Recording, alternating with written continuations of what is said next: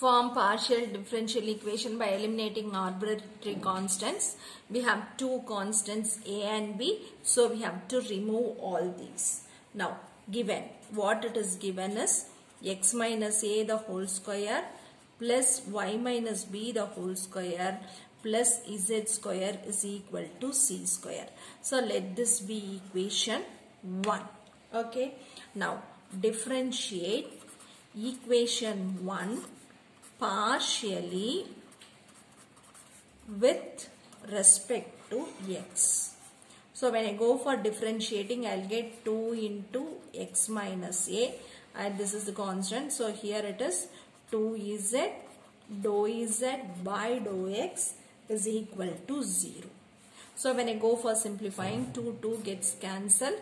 So my x minus a is equal to minus z into dou z by dou x.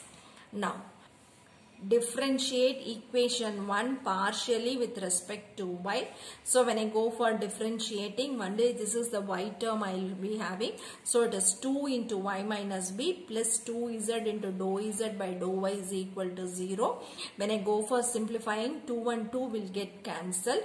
So y minus b is equal to minus z into dou z by dou y. Now substitute for x minus a and y minus b in equation 1. So for x minus a I have this.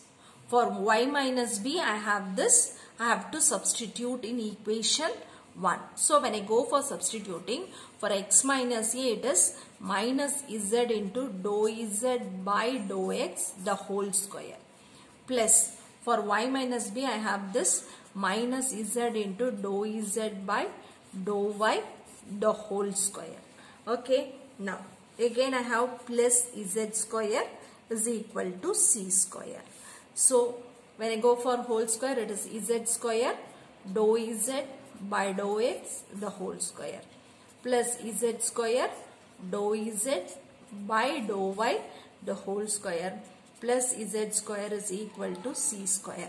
Now take z square commonly outside.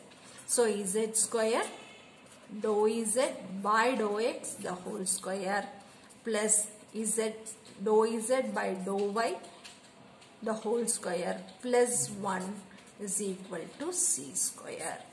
This is the required partial differential equation.